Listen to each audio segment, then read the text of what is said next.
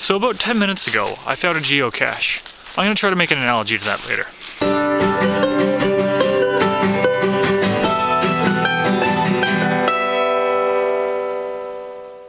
People in our hobby, usually GMs, are often trying to improve upon their abilities, particularly through using tricks and tips. The reason for this should be obvious. People want to improve. I mean, I'm sure glad my games are better than they were in my teenage years. So where do we look for advice? Well, there's plenty of resources out there, be it videos, podcasts, or even mailing lists.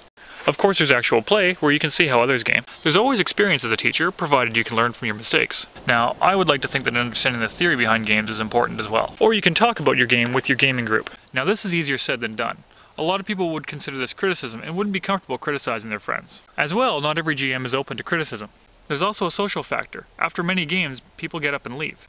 You also may not want to seem like you're angling for praise. It does seem necessary, however. People often have different experiences from the same social event. And you can add to that how difficult it can be to read social cues when people are acting like somebody else. But I don't think we'd want to be silent about the issues that could tear a group apart.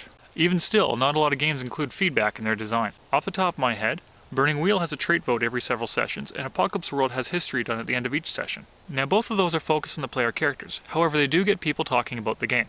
Now how this can work for you depends upon your social group. It may be best to start with a system like Apocalypse World that allows players to highlight what they're interested in. Or you can just ask people what they want to see happen next session. One thing I can tell you is you're not likely to find true insight randomly, like a geocache in the middle of a forest. RPGs are like everything else we create, such as books, software, YouTube videos, in that a variety of opinions can make them better. So, tell me what you think.